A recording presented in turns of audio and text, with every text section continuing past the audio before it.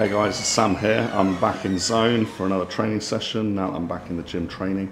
And today's going to be a shoulder stay, just shoulders isolation stay, as I'm working out my split, having returned to this and going steady on the biceps. Did the chest workout yesterday, which used triceps quite a lot, so I don't really want the pushing here, and I can avoid that and leave the triceps alone as well if I just do some isolations for my deltoids. So that's what we're going to whip through here today. Loads of my friends are here, so it's been fun already. And uh, then after that, maybe a meal first time and enjoy the rest of the weekend. So I'm getting started with the Watson side lateral raise machine, which I found my favourite, although I do prefer the one with the weight stack than the plate loaded one. This feels a little bit different. But either or, one of my favourite pieces for side delts and that's what I'm concentrating on with the isolation moves, concentrating on side delts, then rear, then maybe front, but usually skip it because of all the incline work that I would do on a chest day. So I'll get started set one now.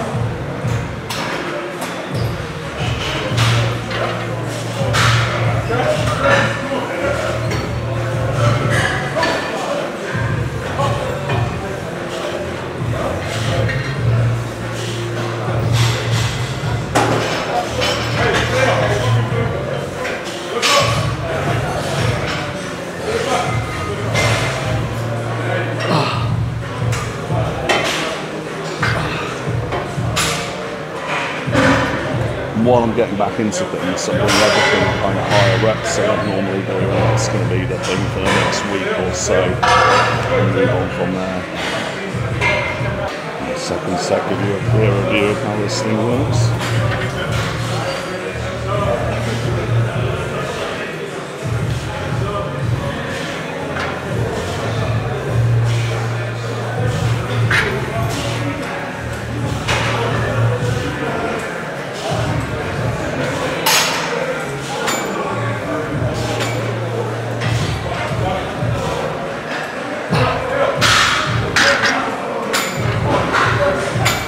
Finding it a really busy time, which uh, has its pros and cons. I've ended up bumping into all sorts of people I haven't seen for a while.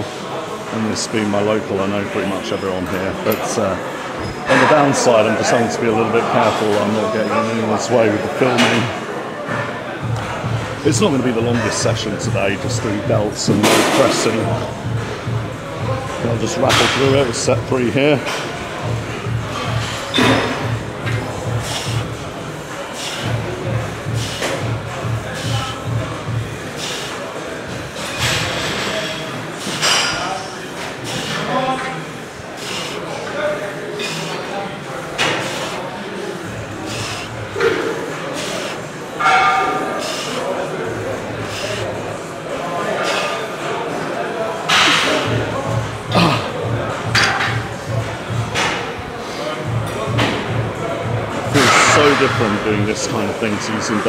But definitely a place for both. And I particularly love the dumbbells for running down the rack on a drop set. And also changing the angle with the hand as I've been exploring where people believe that turning the hands like this and raising out to the side recruits more of the side deltoid. That's something that I started playing around with and going to stick with for a while. If it doesn't work, it doesn't show a noticeable difference, doesn't really matter too much to me because to give me more variety keep things interesting after all this time. I was just giving a few pointers there on the straight arm pull downs for back. Find that if you really lean forwards on that one and make sure you've got the tension on the muscles by having it fully extended at the, at the, the waist you know, the stack, fully holding on to them, arms straight. Get more contraction with the long rope as you pull the elbows back, you get that more in the muscles in your back. Still feel the tension on your triceps, but uh, that's how I like to do the straight arm pull downs. So I was just giving a bit of assistance there that's totally not relevant to the shoulders workout. So I'll keep it moving, get the last set done on here and then think of something else. Right, last one, here we go.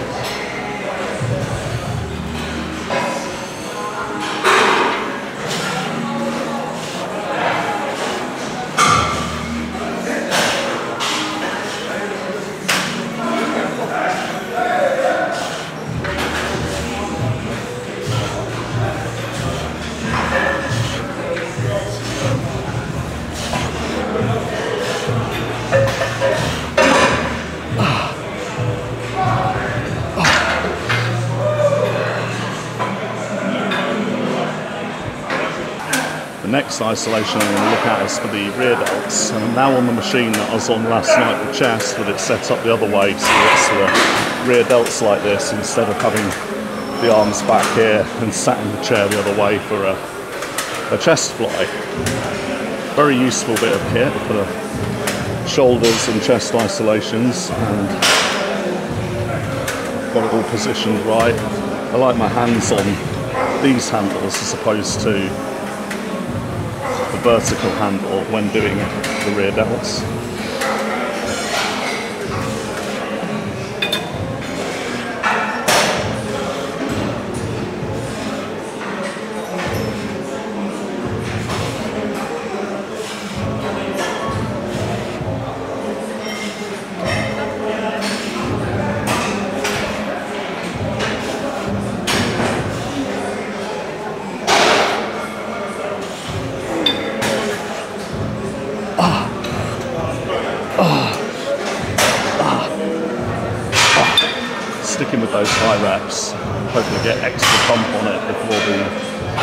Comes off, stripped down to the vest.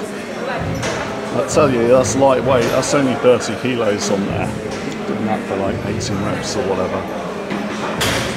Obviously it'd be a bit more weight if I was doing lower reps, but this is the theme for this week, a bit higher reps, a bit more pump. I'll jump in for set two now.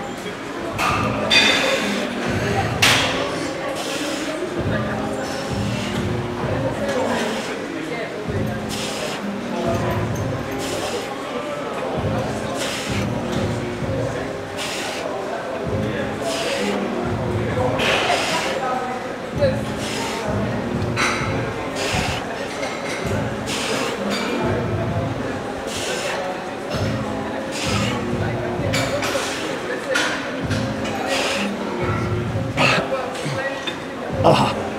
Ah. I'm still finding that I can feel that mostly in my rear delts a lot better if I focus on keeping my back wide and just letting the joints of the shoulder move rather than allowing the the back muscles, the muscles in the upper back to participate if I'm clinching my shoulder blades closer together just deliberately do the opposite of that by keeping the back wide and just moving the shoulder. That's uh, how I feel like I'm getting the most most of the feeling in the right place in this particular exercise still. And number three.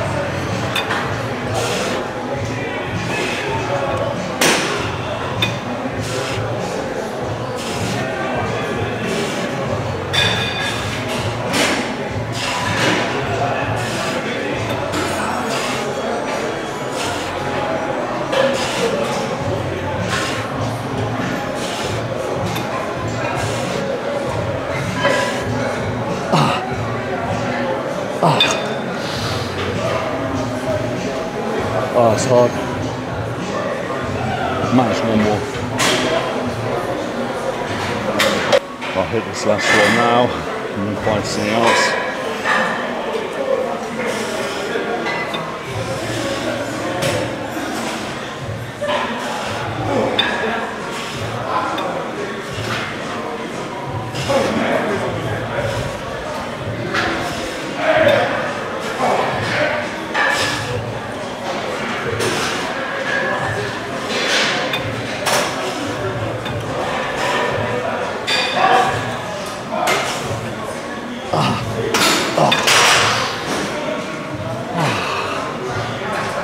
So busy, going to be mainly a case of what's free now. Like, like yesterday, the, the wanting a meal has now kicked in because I, uh, I came in here on pre-empty, spent a bit of time helping people out, and then got started filming, and I'm behind on food already. I'm just thinking about food and stuff. Now I'm wanting to do that side dumbbell lateral so you turn the hands in, I was explaining before, but wanting it leaning against the bench is just pushing the bench further and further forward. So I'm going to do it freestanding as a change from the last time I did it. But when the, it's really nice when you go to a gym and the, the incline benches and everything fixed into the floor. Because then you can do exercises like this and really lean on it without worrying about scooting it forwards. But that's not the option for today. I just have to, have to keep myself stable. Once again, I'm going to try this really, really light and focus on the feeling with it like I did last time. And especially as I've got to stabilise it myself, I'm only going to go for, you'll see, 25 pound dumbbells there and probably only work with these for this exercise because unlike the last time I did this variation, it's now my third exercise. It was only my second thing when I when I tried it before, so hands turned in here.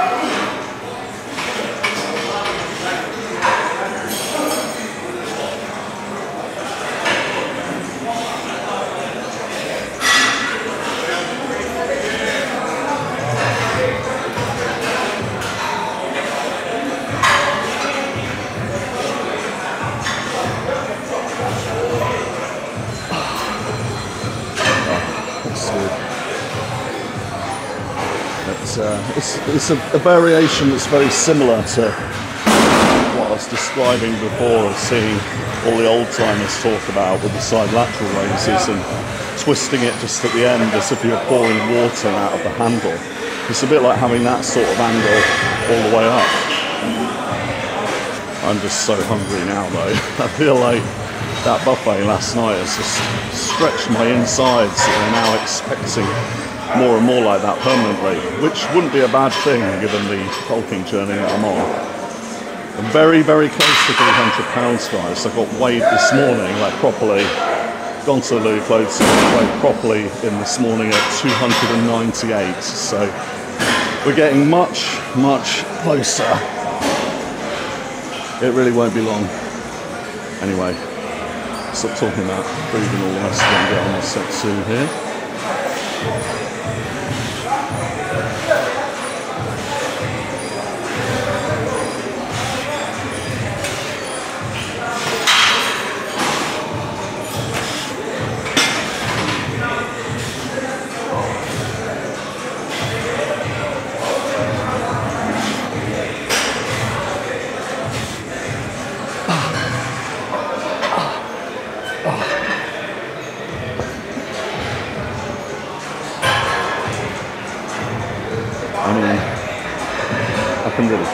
My side delts, if nothing else.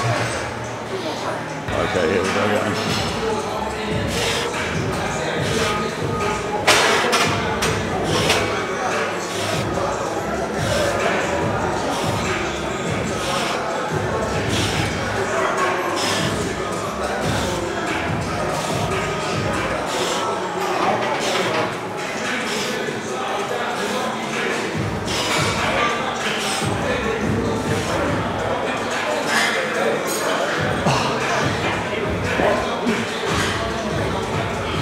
I'll manage one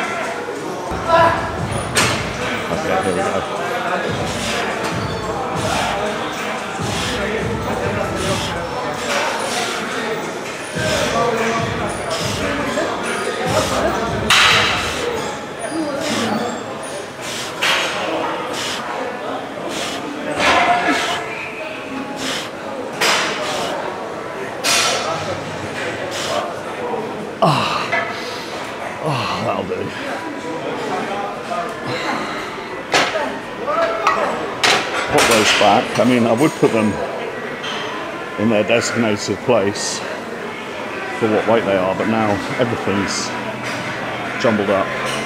They're next to each other. That'll have to be good enough, but I'm not reorganising the whole gym just 'cause everyone put them back in the wrong place already getting busier, that's going to be sufficient for today. It's everything I had in mind for those isolations really on the priority areas for the delts. Won't be needing the front raises. Obviously I started with the incline on, chest yesterday and uh, if the biceps up to it, I could be training back tomorrow. I'll have to see, but right now, as you probably realise, the priority is food. So I'm going to see if there's space in the cafe. If batteries here are going to last, and wrap it up over there. While I'm getting ready to get a move on, I was just thinking what would be a nice topic to tackle once I'm sat down again. I've had a couple of questions come in privately about setting up the diet after some of the recent videos, so I think what would be quite useful is to take a couple of those as practical examples of what you do to check that it's right and what you might adjust and where you go from there. So I've got one or two of those to go through. I'll be able to tolerate talking about such things when I've got food in front of me as well, and that's the plan now. So I'm back with this and sorted out food earlier. It was nothing special, by the way. It was a box of chicken and rice. Can you believe it? And uh, now that I'm back here in front of the computer, I thought it'd be good for this episode to take a couple of practical examples with the numbers and the kind of concepts that I've been explaining about diet in the last few days and tackle a couple of questions that are basically around that with some of your numbers that were sent in. So a couple of a couple of questions that weren't in the comments that come to me privately that would make more sense to explain in depth. I can take here. So I've got I've got one saying followed on YouTube um, nice to see you interact there. Thank you. I want to figure out how many macros I should be taking. Currently, I'm estimated around 170 grams of protein a day, 414 carbs, and 3,426 calories. I'm currently 175 pounds. That'll be the body weight. And trying to bulk up to hopefully 185, 190. So gain you know, 10 to 15 pounds of body weight, basically, like nearly a stone, you know, 14 pounds is a stone. Are these numbers cracked or needs tweaking? And love the content. Okay, yeah, thanks for the positive message. I'll happily take your question on camera here. So, if you look back to the examples and, and explanations I've given, you ha- you haven't given the full data here that this would be based on because while I don't believe in using calorie deficits and the energy balance and having to account for it all and body closed system and that whole paradigm, what I do with bulking is make sure that theoretically you're at least in a calorie surplus because I do believe in energy in the main and I do believe that energy is required to build muscle on top of run the body. So uh, what I was suggesting is taking a basal metabolic rate then your activity level, which is sometimes called the activity multiplier, or you could find by putting calculate um, maintenance calories. You could Google that, calculate maintenance calories. And then whatever you come up with after those two steps, putting another 200 or 300 calories onto the daily diet. And then breaking down the allowance from there, but not just as a, a macro plan. I don't do flexible dieting, I do meal plans. So I'd want to set the foods and eat the same foods because, okay, sometimes in like the nutrition world and conferences and books nowadays about nutrition, they call all of this boiling it down to calories and macros as nutritionism. They call it the nutritionism like of of food and want to get away from that. And that's how I feel about it. I don't feel that 170 grams of protein is the same across all proteins. I've talked before about complete proteins, where we mean protein food that contains all of or close to all of or a good spectrum of what we call the essential amino acids. So the nine that your body can't produce on its own having to come from from outside. And broadly speaking that is basically the animal food. So i'd say 170 grams of animal meat or produce um, well 170 grams of protein sourced from animal foods animal meat animal produce like milk and eggs or otherwise you're going to have to jig it with uh, different combinations of plant foods that would give you, in aggregate, the complete spectrum of essential amino acids. And I covered that in its own separate video, so you may want to look at plant-based diet and complete proteins, um, separate video that I've done if you're if you're not happy to eat basically all this all this animal food, which it's going to be for the for the good protein. Then when it comes to the carbohydrates, I tend to talk about starches because they're bound up glucose, and it's glucose that we want more than other random carbohydrates like cellulose, which your body can't um, even digest. That's also known as fiber, but it is actually a carbohydrate called cellulose.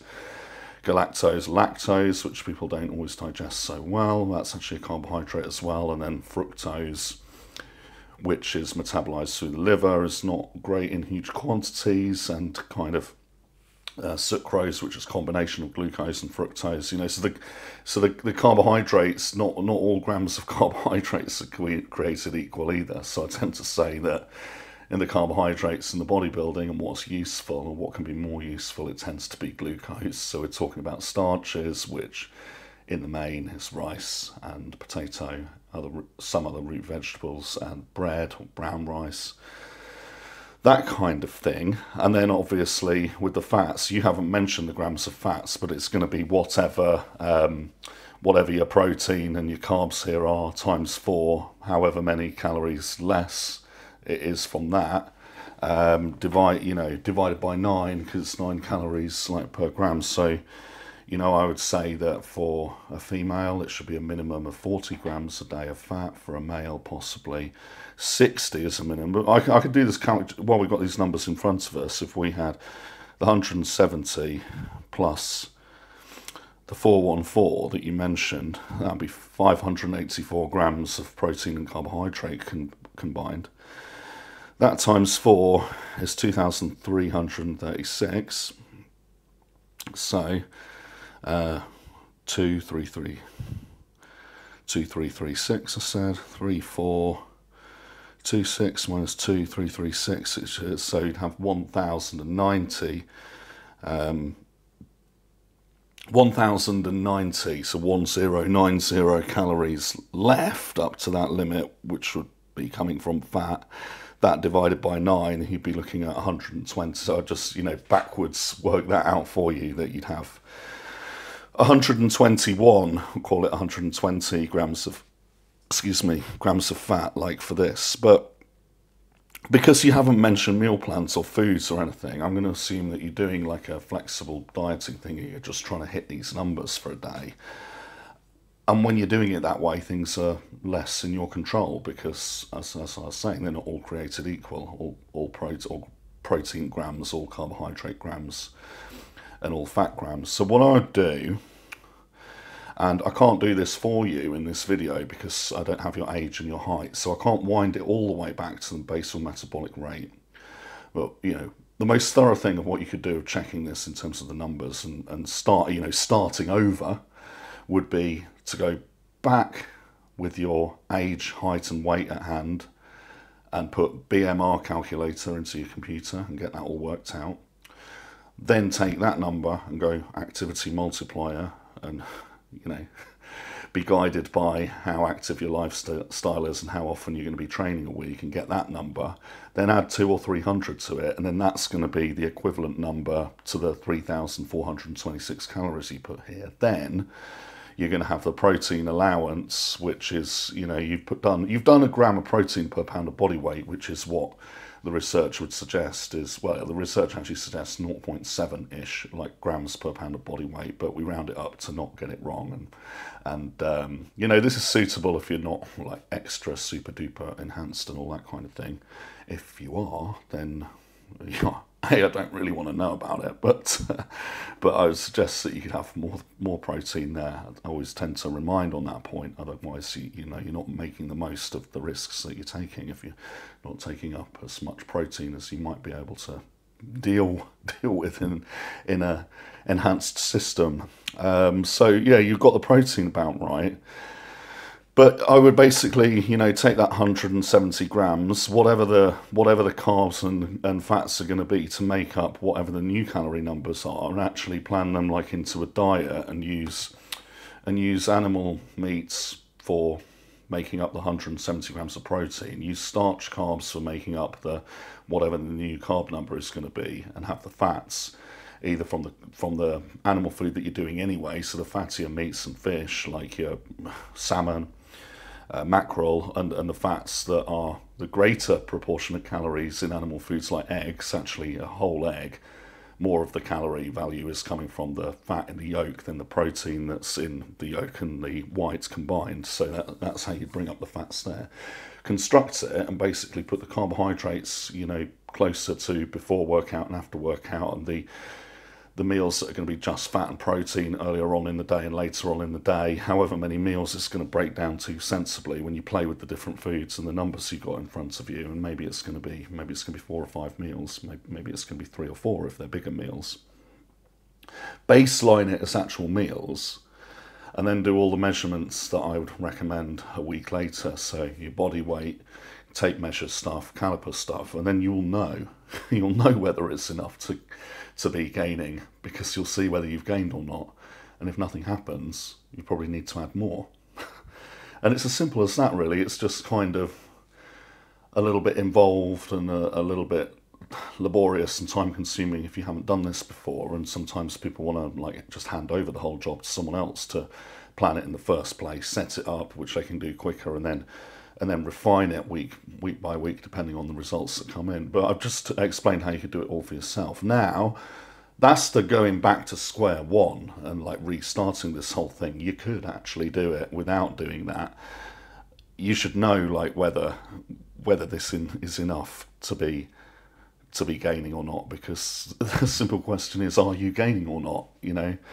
Take the 3426 that you've got i don't know for sure whether you're, you're just flexible macro macro shooting or whether you've got a meal plan but let's let's do it as a meal plan for the numbers you've got say baseline it be consistent to it for a week and then measure and then you, you're only going to have to do what you'd have have to do anyway with the with the more thorough drilling into the numbers and BMR and activity and extra and what I've just described.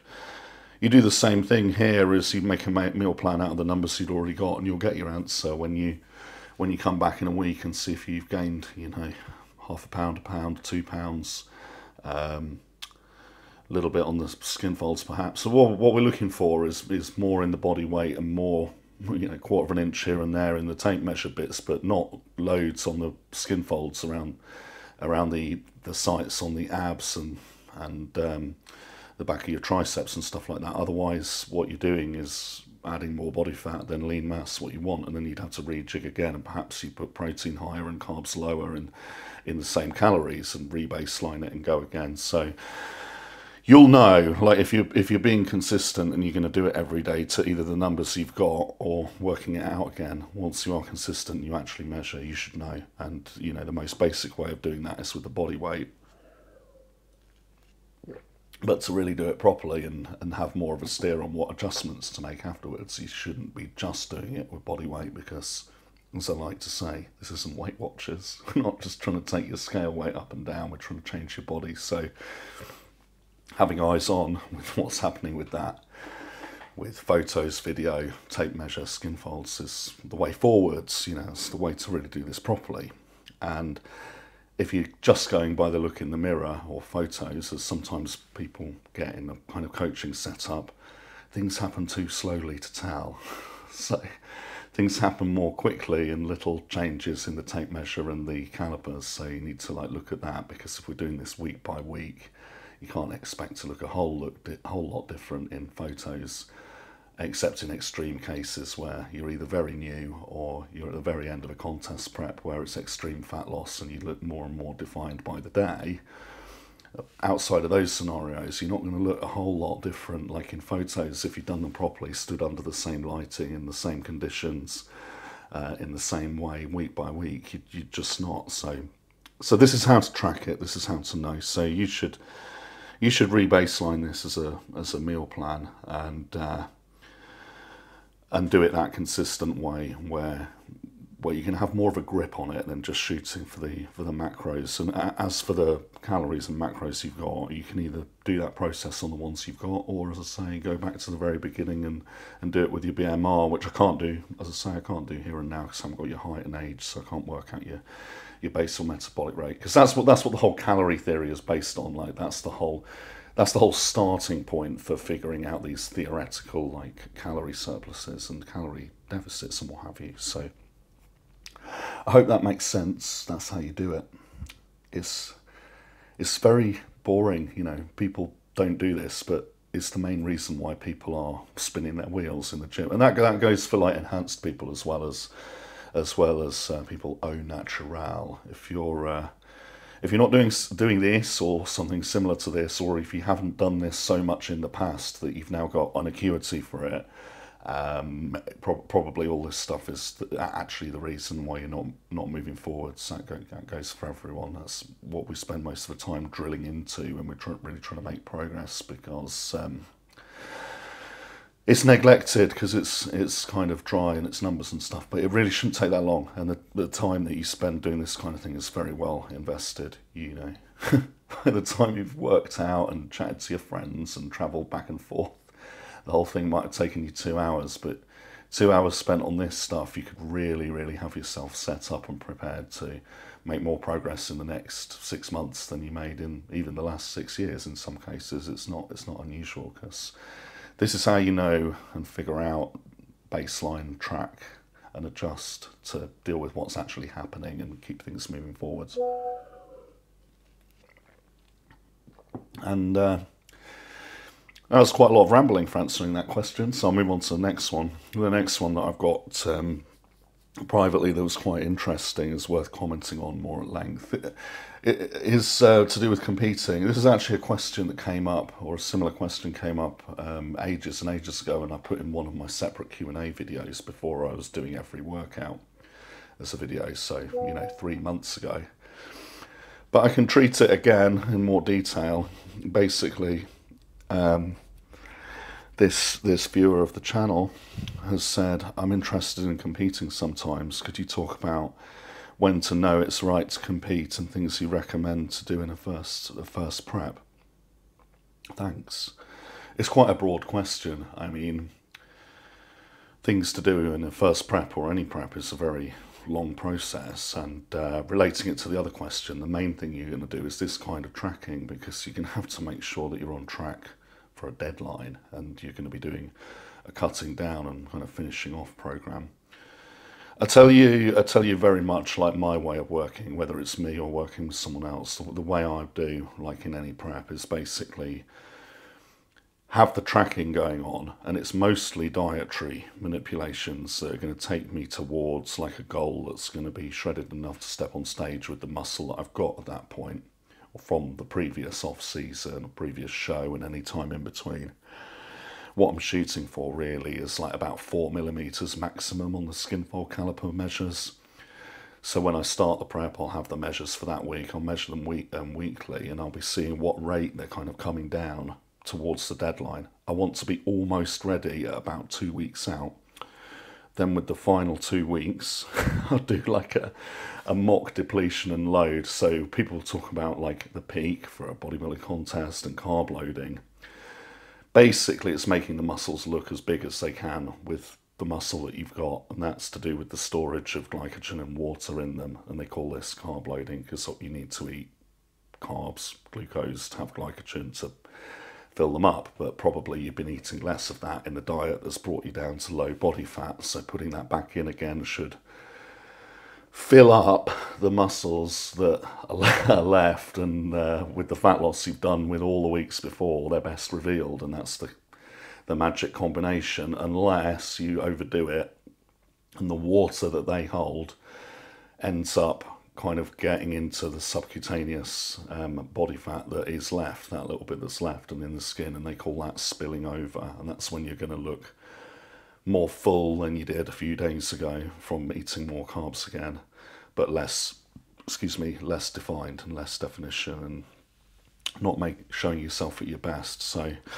what I do to get the best of it is get all the fat loss done approximately by two weeks before the show, and then with the week before, before the final week, I'll do like a mock peak, you know, a mock carb load and your body will hoard more of it in the muscles if you deplete like more you know they call it carb depletion load. If you eat even less it primes them to uptake like even more. It's a, bit, a little bit like pulling an elastic band back. So that you know the more you stretch it one way the more it wants to snap in the other way. So the more you're pulling the glycogen out the more it wants to hoard it back in. So you prime it for that for a few days. So uh, you know on that mock peak week, on that two weeks out bit, I might take three days of zero carb and then calculate how much how much um, the body weight and muscle and lean mass that you've got should be able to store and try and put it in in two days and see what I'd look like a day or two after that. And that's going to be the run that I'll do for the final week. But now we're testing it. So I basically do that and uh, see what that looks like and get a feel for what time of day and what what day after the depletion and load. It might be the very next day after the second day of the load. I normally do like four, you know, say four. I normally I normally try not to overload it. I'd rather I feel like it looks better to look a little bit flat but condition be there than than to have spilt over and ruined it. And it, you know you end up having to do other things that are not great to try and pull it back if you completely spill it over. So I normally do more more days of depleting it than loading it. So it might be four days of depleting it, two days of loading it. See what I look like on day seven. It would be and day eight and that'll give me a feel for whether I'm going to do, you know, more depletion or less depletion, more load, less load, and that's what I do with the very last week, like leading into the show, and that's kind of kind of the whole whole prep, and that, that's that's what I do in a prep on top of like the tracking that I'm doing anyway, like in a cutting thing and wanting to see skin folds go down. Obviously, the other things that you've got to do are practice the poses a lot for the category that you're doing, and get familiar with the expectations and judging criteria of the category and the contest that you're entering and practice all of that stuff like to its maximum from you know 8 to 10 weeks out and just like hope for the best so like I've I've won a couple of contests I've had almost all the others I've done have been top 5 yeah in the class you know I've been in a class of, of like 12, 15, and then some classes where it's only like four or five of you anyway. It really varies. You never know what it's going to be like until you see who shows up on the day. But you know, all the contests I've done, I've either I've either you know been been top top three, top five, won it, or you know featured highly. Um, so it's something that I'm well practiced in. But in terms of the other part of your question is when do you know it's right to compete?